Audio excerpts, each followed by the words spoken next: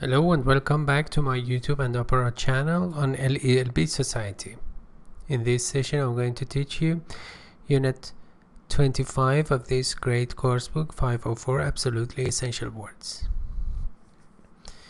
Okay, so let, let's begin. The first word is architect. Is a person who makes plans for buildings and uh, other structures, a maker or creator. Okay. It's, it's he's he or she is a designer, professional designer. The famous architect Frank Lloyd Wright designed his buildings to blend with their surroundings, to be harmonious, to blend in with uh, the surroundings, the place, the places around it. An architect must have a knowledge of the materials that will be used in his structures. Yes, an architect specialized in architecture must have some information or let's say professional information about construction materials.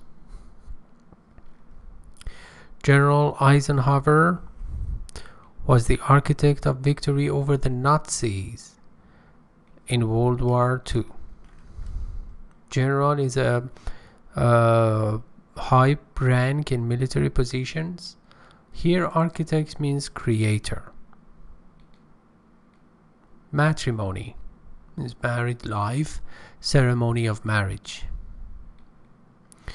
Though matrimony is a holy estate, although marriage is a holy or sacred condition or state, our local governments still collect a fee for the marriage license.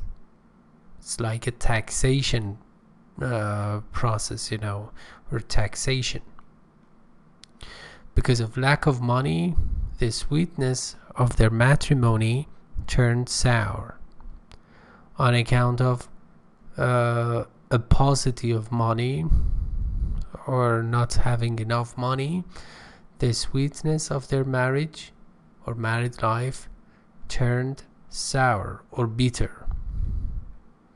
Some bachelors or unmarried boys or men find it very difficult to give up and abandon their freedom or indulgence for the blessings of matrimony.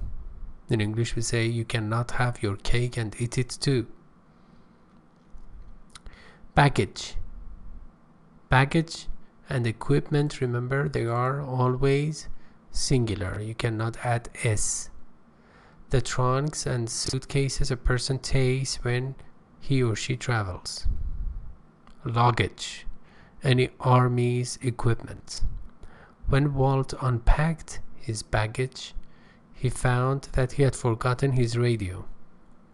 Unpacking is the opposite act of packing. Mrs. Montez checked her baggage at the station and took the children for a walk. It's clear.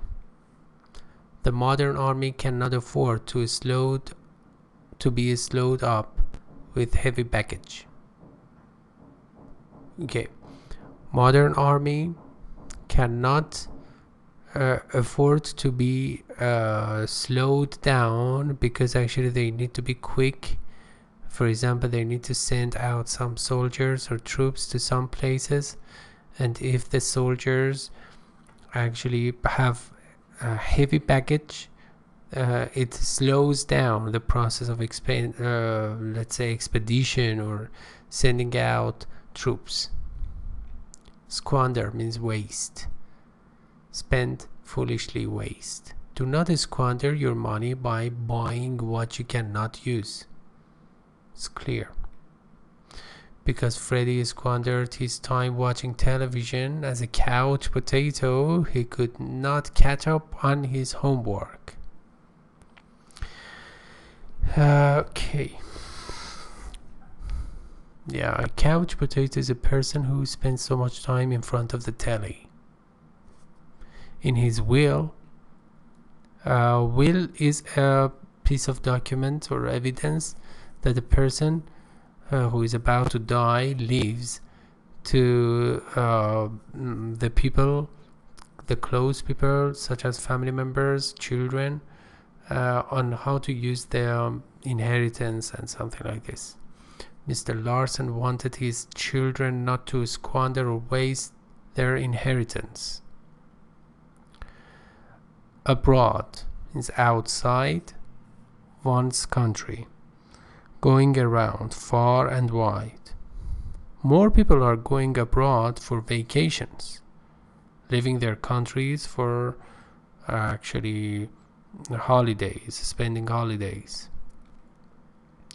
Is there any truth to the rumor abroad that the school will be open all summer?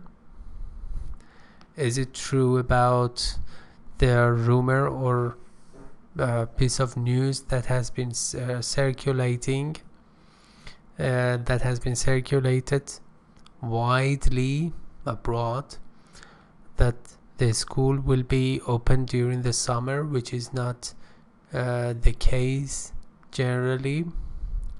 The news of the president's illness spread abroad, means it was circulated widely.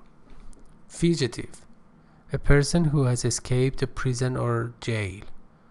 A runaway. Paul was a fugitive from the slums, abandoned by all his friends from the slums, uh, ghetto, or a place in a town that is in low and poor conditions, and generally poor people just live there. Inner city, given up by his friends. Uh, okay, his friends did not want to communicate with him anymore. After escaping from prison, Tom led an unhappy life as a fugitive from the law. He could escape from the pr- prison, but he had to uh, have a very uh, wretched, miserable life as a fugitive from the law. The fugitives from the unsuccessful revolution were captured. Unsuccessful coup d'etat. Uh, actually, they were arrested calamity, a great misfortune, serious trouble, disaster. Failure in one test should not be regarded as a calamity. Yeah, you can make up for it, you can compensate for it. The death of her husband was a calamity which left Mrs. Marlowe numb. She became a widow after the death after the death of her husband and because of that or on account of that uh, she was let's say shocked and appalled numb senseless what is more dismal and sad gloomy than one calamity following upon the heels of another one calamity after the other it is so unfortunate pauper, a very poor person. The fire that destroyed his factory made Mr. Bloomson a pauper, because perhaps all of her, all of his uh, properties and assets were destroyed and burned up. The richest man is a pauper if he has no friends. It's clear. Since he was once a pauper himself, Max was willing to help the needy whenever he can because he could have empathy with them. He could put himself in the shoes of those people, the poor people. Envy means jealousy, the object of jealousy, to feel jealous. Marilyn's selection as prom queen made her the envy of every senior the setting is a high in, is in a high school because you know the uh, the first grade students are called freshmen the second one sophomore sophomore and the third grade junior and the last that is the fourth grade senior. So uh, prom queen is a top dancer or performer uh, in that uh, in any dance ceremony because actually there is a dance ceremony or celebration or dance party let's say uh, before graduation and this is called prom.